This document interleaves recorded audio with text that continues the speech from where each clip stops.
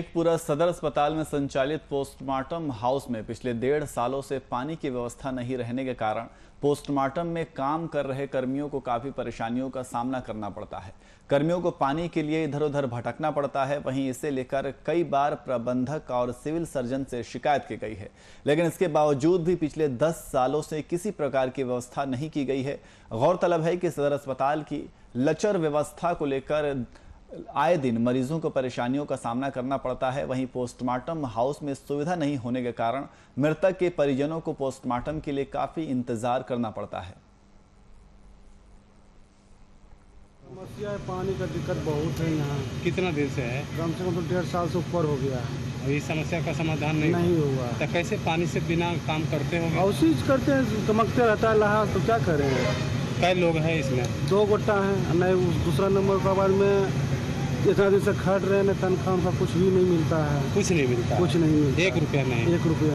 साल भर से पानी की कमी नहीं है वहाँ का जो बोरिंग है बोरिंग ज़मीन से पूरा अंदर तक पानी सूख गया है। अच्छा। तो उसका बोरिंग नहीं हो पाया था फंड के कमी के कारण अलग से फंड है नहीं। लेकिन काम तो तत्कालीन व्यवस्था हम लोग इधर से पानी ले जाके करते थे और अभी कनेक्शन भी कर दिया गया है आज परमानेंट कनेक्शन सदर से उसको ऐड कर दिया है।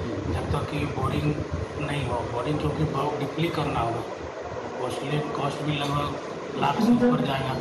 टेम्प्रोरी व्यवस्था भी हम कर दिए हैं सदर से पोस्टमार्टम में ताकि मरीजों को सुविधा नहीं होगा। और सारा सुविधा अपडेट कर दिया जाएगा और जो उसमें वर्कर हैं वो बता रहे थे कि हम लोग जब से इसमें जुड़े हुए हैं कभी किसी तरह का पेमेंट नहीं किया जाता है ये किया जाता है। ऐसा तो नहीं है। पेमेंट तो आउटसोर्स कंपनी को जो है हम उसको लगातार दे रहे हैं और एजेंसी उसको पेमेंट करती है। और इसी खबर पर अधिक जानकारी के लिए हमारे संवाददाता शिव कुमार पाठक हमारे साथ फोनलाइन पे मौजूद हैं। शिव कुमार पोस्टमार्टम हाउस में डेढ़ साल से पानी की समस्या देखी जा रही है। क्या है ये पूरा मामला? जी सर ये पोस्टमार्टम 2016 से बना हुआ है और लगभग डेढ़ साल से वहाँ का बोरिंग फेल है। और जहाँ की पानी की समस्या है और पोस्टमार्टम में जो भी गंदगी की या होता है या पोस्टमार्टम होता है, उसकी धुलाई ढंग से नहीं हो जाता है। और जो वहाँ का वर्कर बोल रहे थे कि बिल्कुल बदबू और गंदगी का ये अंबार लगा रहता है, धुला धुला नहीं पाता है। और इसके कारण लेकिन बार बार अधिकारी के बोलने के बाद भी आज तक वहाँ पानी की सुविधा नहीं दी गई है, जिसके लेकर लगातार समस्या बनी रहती है। जी। हॉस्पिटल एडमिनिस्ट्रेशन का क्या कहना है?